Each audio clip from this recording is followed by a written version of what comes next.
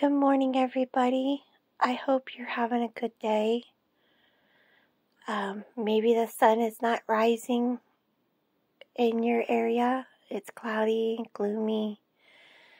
But I hope this little message I give to you is something you can think about and help uplift you and bring you peace. Because we all can rely on God's promises. God is faithful. He would never break a promise. All right, let's see.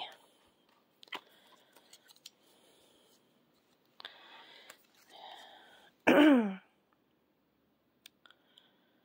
right. I will declare that your love stands firm forever that you established your faithfulness in heaven itself. Psalms 89 2. See what the back says. A little faith will bring your soul to heaven, but a lot of faith will bring your your heaven will bring heaven to your soul. Think about that. A little faith will bring you Bring your soul to heaven.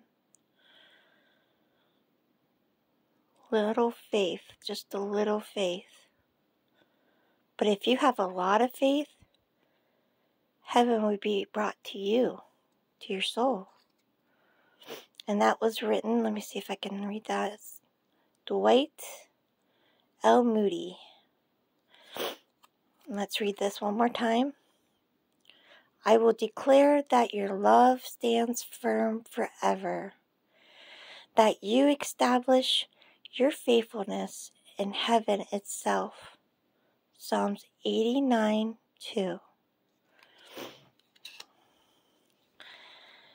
Well, I hope this helped you in any way. Nothing's ever too small. Think about what I said, what this said, and know that I love you, and try to have a good day. Bye.